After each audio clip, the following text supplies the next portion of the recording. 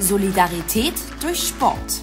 Der Berliner Schachverband lädt gemeinsam mit der Bundestagsabgeordneten Marlene Schönberger zu dem Event Chess for Solidarity – The Missing Player ein, um sich zu einer politischen Gesprächsrunde und einem anschließenden Schachsimultan zu treffen. Sport hat die Möglichkeit, Menschen zusammenzubringen.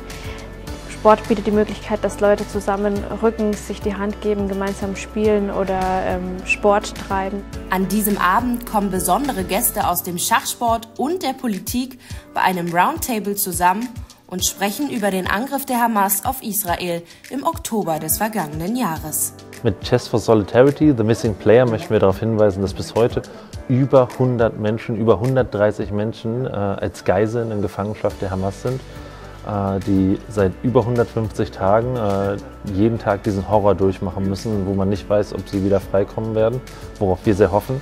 Den Höhepunkt des Abends bildet die Simultanvorstellung durch Judith Polger, die nicht nur als spielstärkste Frau der Schachgeschichte gilt, sondern gemeinsam mit ihrer Schwester Sophia ein großes Vorbild für Frauen im Sport ist. This is the beauty of chess. It really brings people together.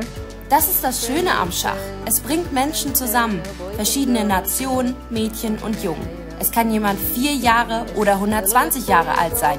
Jeder kann Schach spielen.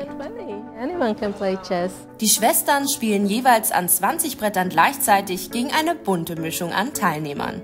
Die Berliner Meisterin Madia Fock ist eine der letzten Gegnerinnen von Sophia Polger. Das war auf jeden Fall sehr aufregend, weil ähm, es sind ja auch Frauen, also vor allem für mich als auch als eine Frau ist es halt sehr spannend. Ähm, ich hoffe mal, ich werde auch so gut. Das Event bringt nicht nur wichtige Vorbilder aus der Politik und dem Sport zusammen, sondern signalisiert, dass Kämpfe nur auf dem Schachbrett ausgefochten werden sollten und betont die Notwendigkeit von Solidarität im und durch den Sport.